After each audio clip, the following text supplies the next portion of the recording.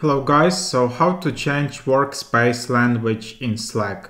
So basically workspace is just uh, all this stuff you can see for example here in settings and all these notifications and stuff like that. So what you need to do is just click here and click administration, then click on workspace settings. I would really recommend for you to do this on uh, desktop because uh, it can be problematic on mobile. And then just here in settings, you can see something like workspace language.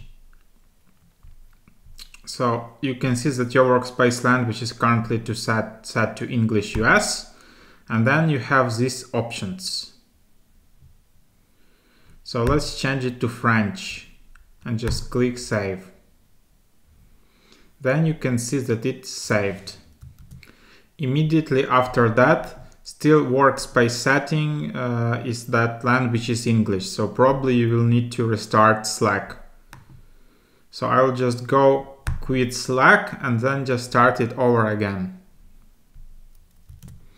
So after that, your workspace language should be changed to this which you selected to. So that's about it. Thanks for watching.